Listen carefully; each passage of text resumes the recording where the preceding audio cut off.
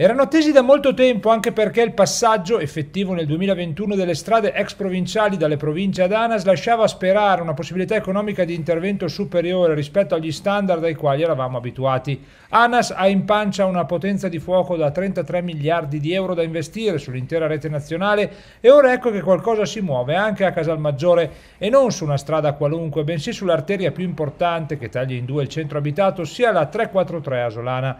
A dare l'annuncio è stato via Facebook il sindaco Filippo Bongiovanni.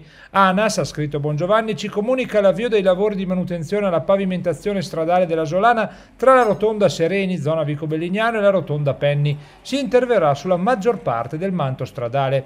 Chi teme lunghe code a causa del traffico dettato dai lavori può però stare sereno. I lavori saranno infatti notturni, ha precisato Bongiovanni, tanto che è stata chiesta un'ordinanza per la deroga al rumore. Dunque i lavori si svolgeranno in condizioni di traffico ridotto al minimo.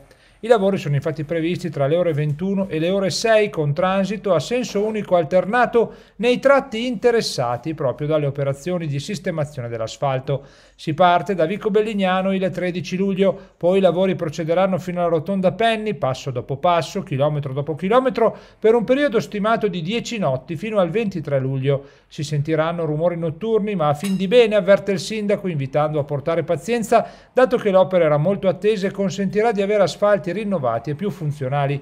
I lavori dunque si esauriranno in soli 10 giorni sull'intero tratto che in totale è stimato in 7 chilometri.